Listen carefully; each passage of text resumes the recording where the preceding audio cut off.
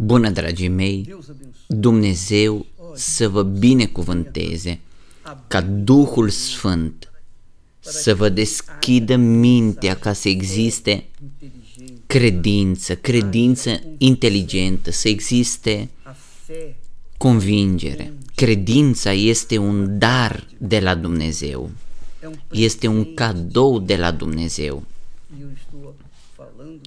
Și eu mă refer despre credința în cuvântul lui Dumnezeu, în Sfintele Scripturi, în promisiunile lui Dumnezeu. Credința în promisiunile lui Dumnezeu este un dar de la Dumnezeu pentru cei care cred în El. Aceasta este marea revelație, aleluia. A, Tatăl meu, eu te rog, Doamne, ca Tu să revelezi acum pentru persoanele care participă la această transmisiune? În numele Domnului Isus, așa cum Tu, Doamne, te-ai revelat pe, pentru un fost cerșetor, fost om al străzii, care deși fusese vindecat de bolile lui, chiar așa păstra în interiorul său dorința de a te cunoaște personal, pentru că el a auzit despre tine. El a fost vindecat datorită credinței sale în promisiunile tale dar el dorea mai mult. El dorea să aibă privilegiul de a te cunoaște personal. Și asta doar ar fi fost posibil dacă el primea Duhul Tău, Domnul meu. Doar că noi primim Duhul Tău, este că noi te cunoaștem, Doamne, cu adevărat. Și ca toate aceste persoane care țin postul lui Daniel se străduiesc, luptă pentru a primi Duhul Tău, Tatăl meu, eu își cer ca Tu să te revelezi pentru ele.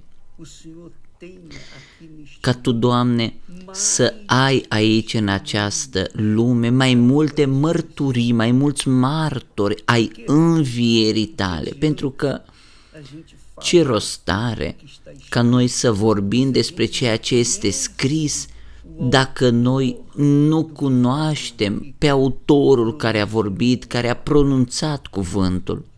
Și asta eu îți cer, Tatăl meu, deschide mintea acestui popor care vin până la noi. Eu știu că mulți au probleme de sănătate, probleme emoționale, sentimentale, probleme psihologice, mii de probleme. Dar cea mai mare din toate problemele este lipsa cunoașterii, lipsa revelației tale, Domnul meu, Duhul Sfânt, pentru fiecare dintre ele. Și doar Tu, Doamne, Iisuse, doar Tu, Doamne, care ai murit, care ai intrat în mormânt și ai înviat, doar Tu, Doamne, ne poți da Duhul Tău, Duhul învierii, Duhul păcii, Duhul lui Dumnezeu însuși, esența divină în interiorul nostru. Și eu îți cer ca în acest moment aceste persoane care sunt în rugăciune, sunt în post, caută Tatăl meu, ca în acest moment să se întâmple această minune a minunilor și să existe o pogorâre supranaturală pentru toți cei care participă la această transmisiune, în numele Domnului Isus Hristos. Și cine crede să spună Amin. Slavă lui Dumnezeu! Slavă lui Dumnezeu! minha amiga. Foarte bine, dragul meu, draga mea, Sabe qual é a razão do porquê muitos știi care este motivul din cauza căruia multe persoane încă nu au primit Duhul Sfânt? porque Ele elas acreditam au informații din cuvântul lui Dumnezeu doar. têm a palavra Chiar și știu, cunosc cuvântul, dar ele nu s-au predat, nu s-au dăruit cuvântului lui Dumnezeu, nu s-au dăruit a palavra. cuvântului lui Dumnezeu. Elas não deixaram Ele nu s-au lăsat dirijate, conduse de cuvântul lui Dumnezeu. Cuvântul lui Dumnezeu e Duh. Deus é Espírito. Cuvântul lui Dumnezeu e Duh. Jesus disse: Domnul Isus a spus, os que são cei care sunt născuți din Duh sunt Duh. Tu știai despre asta? você sabia disso? Și că cei născuți din Duh sunt precum vântul. Vento. Não Nu știu nici de unde vin, nem para onde. nu se știe nici de unde vin, nici unde pleacă. Așa sunt cei născuți din Duh. Então, quando a gente, Atunci când noi credem în cuvântul lui Dumnezeu, nós colocamos noi lăsăm la o parte visele noastre personale, pessoais, lăsăm la o parte tot ceea ce are legătură cu viața noastră materială, material, tot ce are legătură cu persoana noastră, pentru că dorim, dorim porque queremos, queremos să mergem în direcția Duhului Sfânt. na onda Dorim do Santo. să ascultăm de voia lui Dumnezeu. Poder Dorim cu adevărat de Deus. Queremos să fim martori, mărturii ale învierii Domnului nostru, Isus Hristos. da Cum ressurreição se poate do nosso Senhor. Ca o persoană să fie martor Como é que pode uma mărturia Domnului Isus dacă nu l-a cunoscut? de Jesus Sau mai bine não spus, conhecer?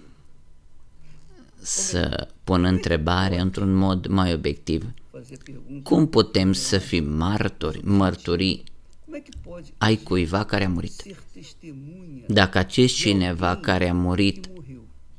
a înviat Se esse alguém que morreu și ne-a apărut și ne apare nou, atunci noi avem dreptul de a fi martori ai lui. nu așa? então nós temos o direito. Noi avem dreptul. Testemunha. Atunci não é asta verdade? trebuie să se întâmple, Nós temos o direito. ca tu Então é să isso que fii aconteceu. o mărturie vie a învierii Domnului Isus care s-a întâmplat acum 2000 de ani în urmă. São de Jesus. Tu trebuie să ai o experiență cu El. Anos atrás. Tu trebuie să-L vezi cu ochii credinței. Tem que vê-lo. Eu trebuie să-L văd cu ochii credinței. Você tem que vê-lo Și com os olhos această minune, această măreție doar este posibilă essa grande când Duhul Sfânt vine peste persoană, vine peste viața persoanei. Dar atunci, domnule episcop, de ce că încă nu a venit la mine? Domnul Isus a spus, até a cine are sete să vină la mine și să bea. sede De multe ori îți este sete să primești Duhul Sfânt pentru a realiza visele tale personale. Atunci tu nu îl vei primi. seus sonhos pessoais. Tu doar îl vei primi dacă tu vei avea sete să primești Duhul Sfânt Se você tiver sede pentru de receber a sluji para ser ca martor, ca mărturie a lui, a Domnului Isus, înviat cel viu aici pe pământ, deja în această generație. Ai înțeles? nessa geração. Asta a făcut acest bărbat Nilsson. Fez esse Observă, el avea atâta sete, atâta sete, Ele tinha tanta încât sede acolo, la locul de muncă, la locul său de muncă, que lá no el a trabalho, spus, lá no Doamne, trabalho Tu dele, m-ai vindecat, Ele disse, dar Senhor, cum eu pot să vorbesc de cineva dacă nu cunosc pe acest cineva? posso falar de alguém? Mas eu não Pune-te conheço esse alguém. în locul meu. Imaginează dacă eu aș fi în locul tău, Doamne, și tu în locul meu. Tu ai avea curajul să vorbești de persoana mea fără să mă cunoști, fără să mă fi cunoscut. Da minha Este asta. Când el a spus, sem ter me conhecido. asta el a manifestat o sete, o disperare atât de mare încât în aceeași clipă, acolo la locul de muncă, nu a fost la biserică, nu a fost la altar, a fost la locul său de muncă, igreja, não foi no altar. că el a avut această experiență cu Dumnezeu. Aceasta este mărturia minunată, frumoasă, magnifică. Tu poți vedea sinceritatea, puritatea, smerenia lui, A sinceridade, smerenia, a humildade, setea. a humildade. Doamne, aș dori eu ca toată lumea să fie așa.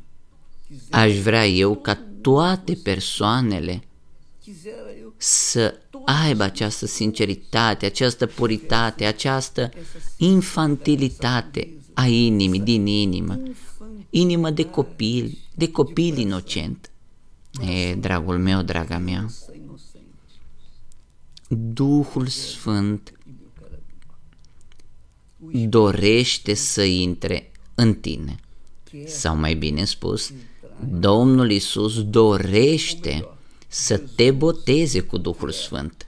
Dar Batizar você com o Espírito ca să se întâmple asta, mais tu trebuie să fii însetat tem que estar să dorești să faci voia Lui. Nu are rost ca tu să ascunzi acolo, în interiorul inimii tale, a, eu vreau să primesc Duhul Sfânt, dar acolo în inimă, în interiorul tău, tu spui, a, când eu voi primi Duhul Sfânt, eu voi avea asta, voi face asta. Nu. receber o Espírito Santo, Când tu vei primi Duhul Sfânt, tu vei fi precum vântul.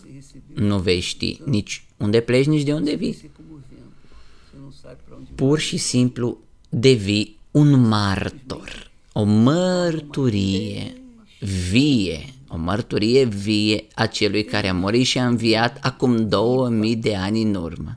daquele que morreu e ressuscitou Acum 2000 de ani în urmă. anos atrás. Atunci, dragul meu, draga mea, Então, minha cara amiga e amigo, puneți-vă coloque-se no în locul lui Dumnezeu, cum a făcut Nilsson, și vorbiți cu Dumnezeu, Doamne, ce ai face tu? Ai avea curaj să vorbești despre mine Teria coragem de falar dacă nu te-aș fi cunoscut? se não Dragul meu, draga mea, asta înseamnă să crezi cu adevărat. meu amigo. Isso é crer de fato. De aceea că acolo, în primul verset din Isaia 53, pune întrebare, Isaías 50 cine a crezut în ceea ce ni s-a predicat? Cine a crezut? Cine a crezut? Quem creu? Cine crede? Aici vine restul versetului. O resto do versículo Cui i s-a manifestat brațul Domnului? Cine a văzut brațul Domnului? lado În alte cuvinte, cei care cred primesc această revelație personală, individuală a puterii lui Dumnezeu, a brațului lui Dumnezeu, a mâinii lui Dumnezeu. do braço de Deus. Dumnezeu însuși, în persoana Domnului Isus Hristos, prin intermediul Duhului Sfânt, te face o mărturie vie a lui, a învierii lui. Você é uma testemunha viva Asta da ressurreição dele. s-a întâmplat acum 2000 de ani în urmă și asta trebuie să se întâmple cu tine. Há dois mil anos atrás. Eu citesc acel text care spune că în prima zi a săptămânii, asta înseamnă duminică, Domnul Isus a apărut prima dată pentru Maria Magdalena. Cine era Maria Magdalena? E a Madalena. Maria Magdalena Quem era era o femeie care avea nici mai mult, nici mai puțin decât șapte demoni. Șapte demoni. nada menos do que sete demônios? Sete Și demônios. Prima persoană căruia Isus i-a apărut. Nu a fost Mariei mamei sale, nici Foi Maria, a Mariei, mama lui Ioan, lui Iacov, nu a fost oricărei alte Marie, a fost Mariei Magdalena, femeia care avea șapte demoni. Isus a apărut pentru această femeie vulgară pentru lume, dar sfântă pentru el. Și ea a alergat imediat pentru a anunța pe ucenici, uite, Isus mi-a apărut, dar ucenicii nu au crezut-o. De ce? Pentru că Maria Magdalena era o femeie care a fost eliberată, dezlegată de șapte demoni, de o viață complet neregulată, nu merita din punct de vedere uman. Dar Domnul Isus a găsit în Maria Magdalena o inimă sinceră și a fost să anunțe pe ucenii și ucenicii ne-au crezut. De ce? Pentru că cine vorbea? Era Maria Magdalena. A, Maria Magdalena, nu. din ea s-au scos șapte dragi, acea femeie, nu știu dacă ea într-adevăr l-a văzut pe Domnul Isus. Acesta este adevărul. Atunci, femeia în care mai nimeni nu credea în acel timp, în acea oportunitate, a fost persoana căreia Domnul Isus i s-a manifestat. Atunci nu aștepta ca să meriți, ca să primești Duhul Sfânt, ca să fii vizitat, vizitată de Domnul Isus. Nu aștepta nici ziua de duminică, acum prima zi a săptămânii, care este ziua învierii, în care sărbătorim ziua învierii Domnului Isus. Nu, nu, nu aștepta. Tu poți primi Duhul Sfânt deja, acum, acolo unde ești. Dacă tu crezi că meriți, atunci deja nu mai meriți. Dar dacă tu consideri, eu nu am, eu cred, dar eu văd viața mea, mă uit în oglindă, eu mă văd ca ultima dintre toate creaturile, atunci tu ești persoana aleasă. Persoanele alese sunt acelea în care mai nimeni nu crede pe suprafața pământului. Atunci, Domnul Isus dorește să se manifeste, să se manifeste pentru tine, tu care ești o Maria Magdalena, un Ioan, un Antoniu, oricine ai fi, tu care te consideri gunoiul societății, El vrea să ți se reveleze, ca tu să-L cunoști, să fii martorul lui, doar atât. El vrea ca tu să fii martorul lui exact tu, chiar tu, care ești o persoană în care nimeni nu crede. El te-a ales ca să fii mărturia lui, martorul lui în această lume. Atunci tu nu trebuie să meriți. Pentru că diavolul vorbește, diavolul suflă gândul, tu nu meriți, cine ești tu, tu ai făcut asta, ai făcut cealaltă? Nu. Nu da uz acestei voci. Această voce e satanică. Dar vocea lui Dumnezeu este aceasta. El a ales-o pe Maria Magdalena, care avusese șapte draci, ca să fie prima persoană, martor, primul martor, prima martoră a învierii sale. Nu e interesant asta? Nu putea fi Maria, mama lui? Nu. A fost Maria Magdalena și spune textul aici, din care el scosese șapte draci. Atunci, dragul meu, draga mea, nu te uita la defectele tale, la greșelile tale, la slăbiciunile tale, pentru că Isus alege pe cei slabi, pe cei respinși, pe cei excluși din societate. El m-a ales pe mine. Vrei vreun lucru mai bun decât asta? Un exemplu mai bun decât asta? El m-a ales pe mine. El te-a ales pe tine de asemenea, El ne-a ales pe noi. Atunci primește Duhul Sfânt acum acolo unde ești. Nu contează nimic altceva. Ceea ce contează este că tu crezi, că tu ai sete și că tu vrei să fii la fel ca vântul. Nu știi unde vei merge, nici de unde vii, dar vrei să fii mărturia via Domnului nostru Isus Hristos. Dumnezeu să vă binecuvânteze pe toți. Această revelație pe care Dumnezeu ți-o dă acum este pentru că tu ai fost, ție, ți s-a revelat, ți s-a revelat brațul Domnului. Atunci tu ai acest drept. A, acum, în acest moment, ori, oriunde tu ești, fie că ești la închisoare, la spital, într-o clinică, sub un pod, Poate tu conduci mașina, un camion, un tir, oricare ar fi locul unde tu ești. Tu crezi, atunci primește acum Duhul lui Dumnezeu în numele și pentru gloria Domnului nostru Isus Hristos să fie încă un martor încă o mărturie pentru a anunța întregii lumi că Isus este viu și dispus para anunciar să ajuți pe cei mâhniți, pierduți, respinși, ex- pe cei excluși ai societății, din societate. Dumnezeu să vă binecuvânteze pe toți. abençoe a todos. Și astăzi, în toate locașurile Duhului Sfânt, vom vorbi, Salvo, religioso, vom estarei învăța falando, ensinando sobre o despre rodul Duhului Sfânt, care începe cu dragostea. Primul rod, fruto, primul rod, sau mai bine spus, rodul primeiro fruto. Ou care se vede imediat este dragostea, iubirea. logo Și a iubi înseamnă a da. A iubi e amar é dar. nu e a primi. A iubi înseamnă a da. Cu cât mai mult dai, mai mult Amar é dar. Quanto mais você dá, mais você quer dar. tu vrei să Deus dai. abençoe. Dumnezeu să vă binecuvânteze și pe mai târziu sau pe mâine în numele Domnului Isus. Dumnezeu să vă binecuvânteze. Amin.